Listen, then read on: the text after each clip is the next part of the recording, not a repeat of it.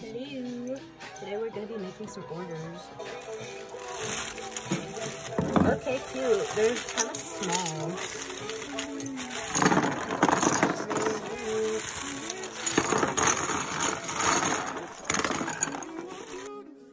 There's some grapeseed oil, pink food color. I can't show you like because the lid just went flying off. Strawberry scent, strawberry flavor. So um, this is about two cups of sugar.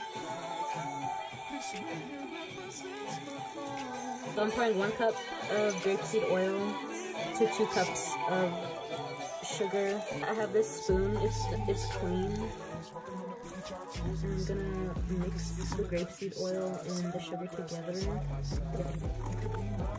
Um, like I want it to be super moisturizing.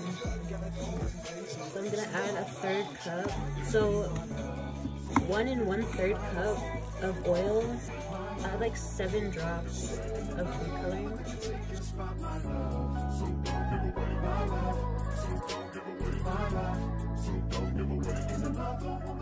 I'm gonna add in a tablespoon of this flavoring. It's strawberry. I'll link everything that I've used in this video down below. One tablespoon and half a teaspoon.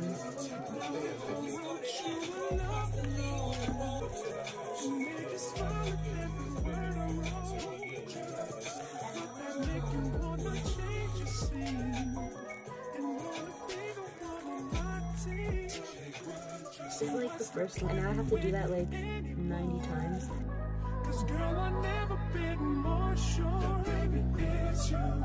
This ring here represents my heart.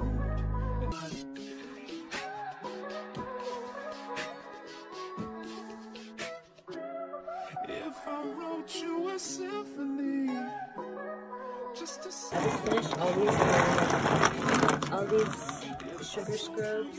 Wipe them all off with this like piece of paper towel I have because they have like a little bit of sugar on the outside. I'm gonna dry them off with a dry paper towel. So one of these under 10 grams. When you buy the sugar scrub, you're getting 9.1 grams of product. Made one for myself. That looks still pretty good right now. I have these packages that I got. They're supposed to be for the lashes, but they're like way too small because I thought they were gonna be way bigger. It just tells you that the product is 9 grams, tells you the ingredients, instructions, how to keep it fresh. I hope you enjoyed that. That's all. Bye.